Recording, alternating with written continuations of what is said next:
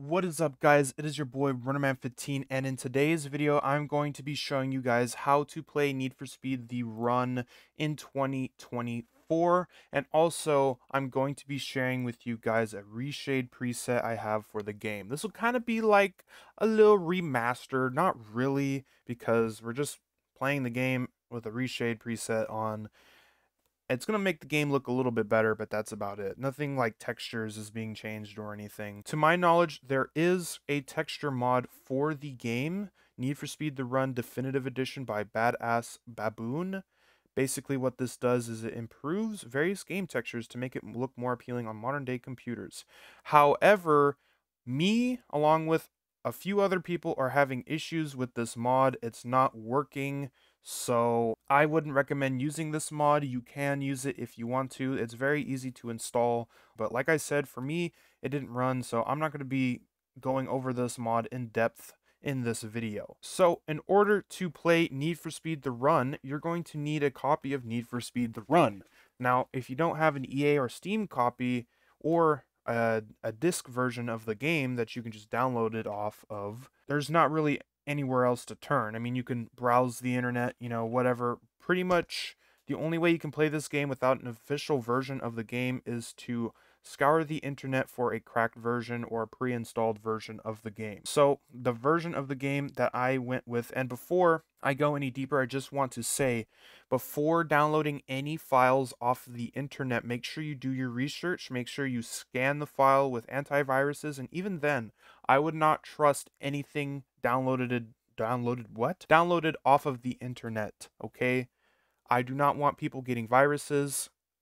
I don't 100% trust this, but so far I haven't noticed any issues with the, uh, I haven't noticed any viruses appearing.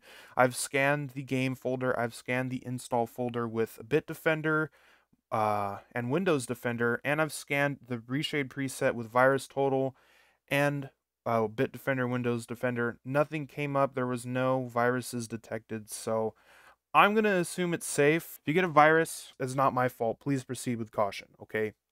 Also, I do not condone piracy. This game has been off of game uh, off of uh, online stores for a very long time. It is impossible to buy this game nowadays. Basically, I found this archive.org page with an El Amigos repack for the game. This repack will give you, it'll obviously come with the limited edition DLC. Basically, to install the repack, what you're going to want to do is you're going to want to go over here to the torrent you're going to want to download this torrent. If you don't have a torrent, search up Qubit Torrent. Go to their official website. Download and install qBittorrent. That is what I use for torrenting stuff. And don't worry, torrenting is 100% legal. It's not illegal. It just makes it easier to download files and the files download faster. So you're going to want to click and install the torrent file after you've already installed your torrenter, I guess. So this is what it'll look like if you open it in qBittorrent. You're just going to want to save it to wherever you want to save this. Um, this isn't the full game, this is just the installer, so just save it to like your desktop, and then after you're done, you can just delete this file. And then press OK, it'll start downloading the file, and after hmm, like 10 or so minutes, you should get it. Okay, so after your file has downloaded, all you're going to need to do is go into your folder, go into here and you're going to want to run the setup.exe. This hasn't fully downloaded yet, so there'll be more files in here, uh, but it hasn't finished torrenting yet. I've already downloaded, I've already installed the game, so I don't need to install it myself. So I've simply just downloaded the setup.exe just to show you guys what to do. So you're going to want to run it, and you're going to want to continue in whatever English, whatever English, whatever language you speak, and it'll open this screen. Just continue, next, you're going to want to make an install folder for the game. Next, here you can select what you want to be installed. You can either have the original gameplay or you can have the crack, which unlocks all the cars and rewards. Then you can click next.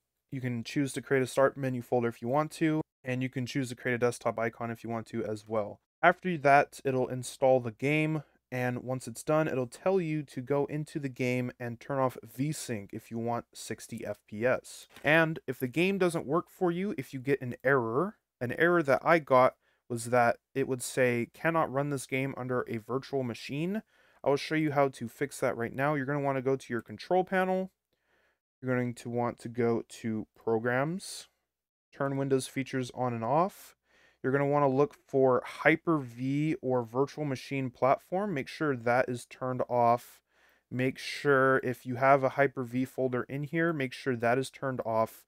You're also going to want to go into your BIOS, or you're going to want to turn off virtualization. I'll have a video right after this that shows how to do it in my BIOS. I have an ASRock uh, motherboard, so it'll show you how to do it in the uh, ASRock BIOS settings. All right, so just know that not every single person's BIOS settings are going to be the same. I have an ASRock motherboard, and in order to find it, you have to go into the advanced mode. It'll boot up in easy mode. Normally, this is what it'll look like.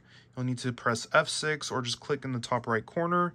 Go to advanced CPU configuration, and then you're going to want to go all the way down until you see Intel virtualization technology. We want this turned off.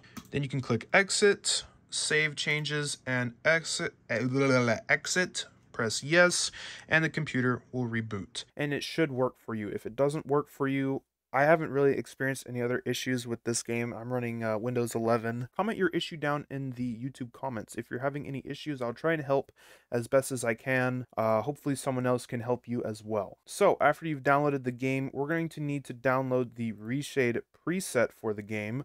So go ahead and head over to this link. It'll be the second link in the description.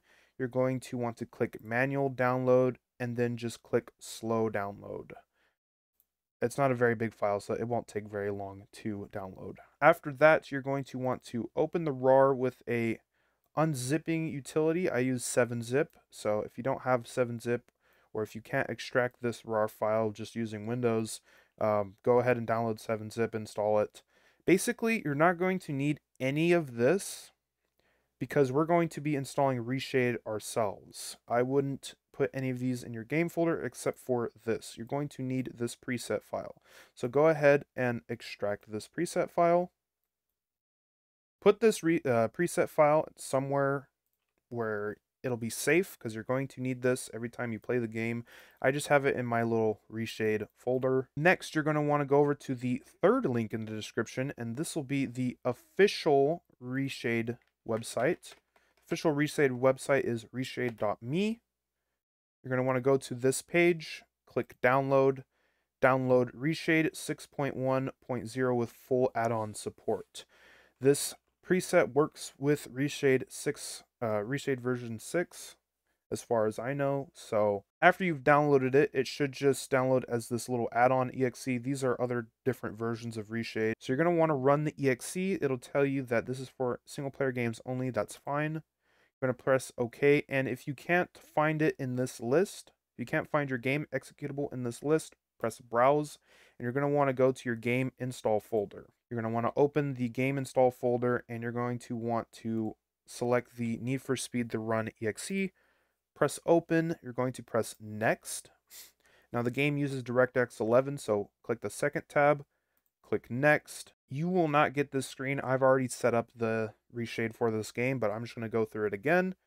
So when you get to this screen, you're going to want to find your preset file. You're going to want to select this photorealistic need for speed the run.ini.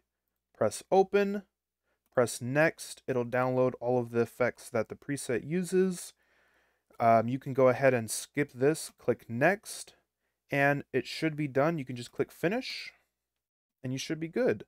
Now we're going to go ahead and run the game and you should be good. As you see in the top left corner, reshade, the menu popped up. Press the home key on your keyboard and make sure it's selected in the as a preset.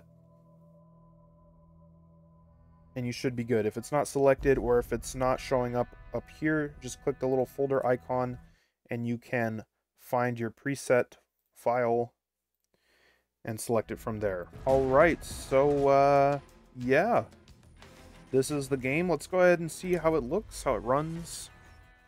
I have uh, after, uh, Afterburner overlay in the top left corner, and if you guys want my PC specs, it'll be down in the description below.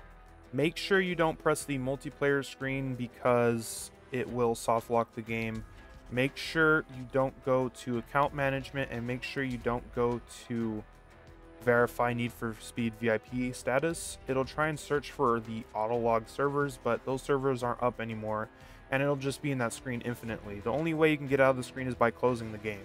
So make sure you don't go into there. Also, like I said, go into settings, display, make sure go to advanced and make sure VSync is turned off.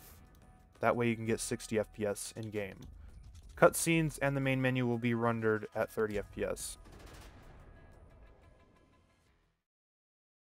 Alrighty guys, if you guys enjoyed today's video, be sure to hit that like button. If you guys want to see more content like this, hit that subscribe button. Remember, if you have any issues, any questions, be sure to leave them in the comments down below. I will try to respond to everyone and I will try to help anyone that I can uh, with the limited knowledge that I have. And hopefully someone else, if I can't help you, someone else can. So it doesn't hurt by commenting, right? Other than that, I'm going to go ahead and see you guys later. Peace.